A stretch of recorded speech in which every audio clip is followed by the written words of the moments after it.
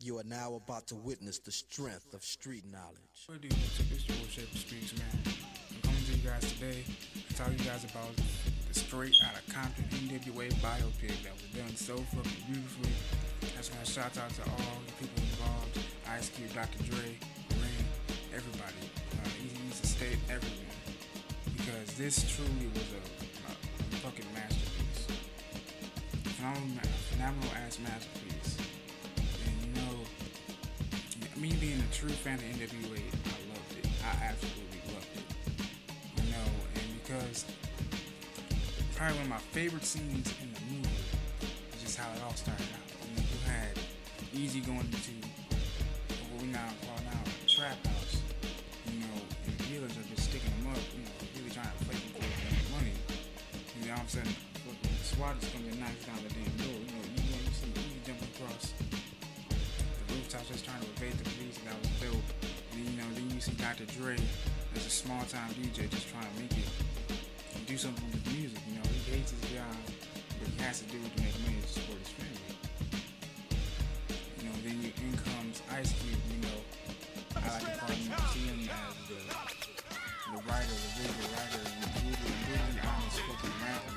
You know, he comes in, he has his own group called HB, HBO the CIA, you know, now it's pretty damn dope, you know, how you just right, they was right there on the spot and just kill it every time. I just love this movie, man, because, you know, they're the best, they're like, they're the first time, they are the very first and only gangster fucking that I ever heard that I was influenced by. You know, the first time, you know, you have the godfather of gangster rap himself, Eazy E. You know, just his was the proper you know what I mean? You know, like he, he, he, they gave you a fucking show, man. Like they said in the press art is a reflection of their reality, you know. You know, then you have the fucking federal government coming after them, which I think was pretty much bullshit, you know. You know, because it was freedom of speech, you know, and people loved the music, you know. They, glor- they said they glorified all these violent gangs and all these misogynistic things towards them, you know, all those things that so many rappers do. But it opened up doors for rappers to come, you know. Snoop, Pop, uh, DJ Quik, everybody, man. Numerous others. I just really hated how people. I, I just hated fucking Suge Knight. I, just- I did. I just wanted someone to whoop his fucking ass. Nah, and just how Jerry Heller manipulated Eazy that way, man, it just really fucked up too. You know,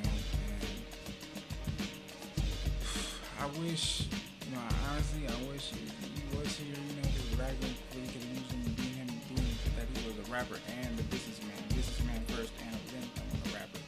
You know, he was wonderful, you know. I mean, I'm pretty sure y'all heard the story just as I you know, from Bone Thugs, his, his wife, his homeboys.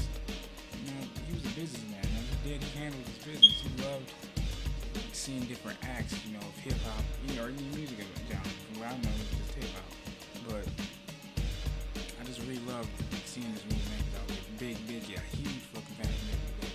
I, couldn't tell you one thing, man. I was in that damn theater rapping those fucking lyrics, man.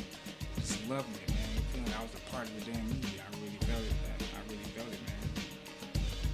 Just a great job overall. I, it, was, it was fucking amazing, man. Um, all the actors, man. O'Shea Jr. did your damn thing.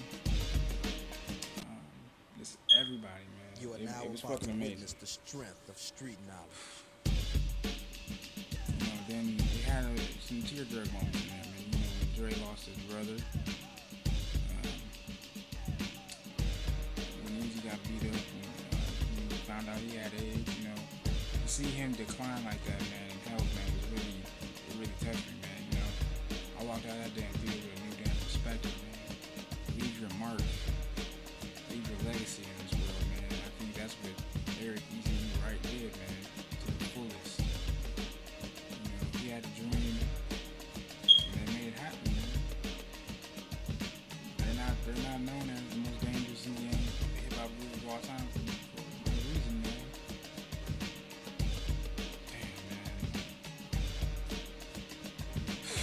You haven't seen it, man, go see it, man, because it is worth time, it's worth money, it's worth everything, it's worth creativity, it's worth If you're an aspiring rapper, man, do your homework, man. Live, you know, expand upon that legacy, man.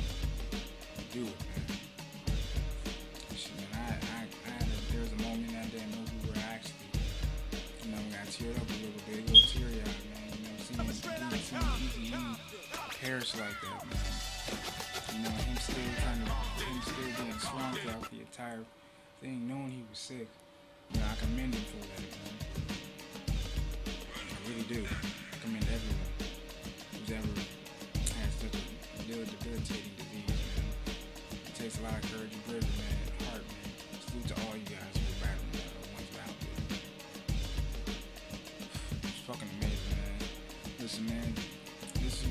Speaks, man. Like and subscribe to this video. Like, like this video. Subscribe to my channel.